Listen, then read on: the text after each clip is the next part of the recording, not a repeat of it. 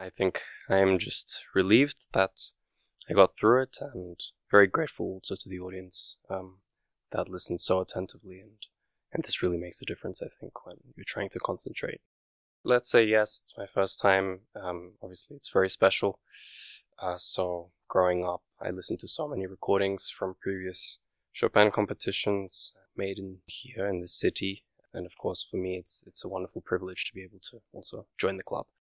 For me, it's more exciting because the competitors don't get so much time to try out these instruments. So basically, you are going on stage and you don't really know exactly what you are what you are going to get from the instrument. No? So you're kind of discovering discovering things as you go, and this creates an element of excitement for for both me and the public. I think when I started preparing for this competition, and I didn't have so much experience on period instruments initially, of course, then it was very uh, very difficult to swap between modern and historical action just because it's it's a very different feeling. But I think as time goes, you, you get more used to the constant changing and constantly adapting your technique. So I would say that now I'm fairly comfortable with this.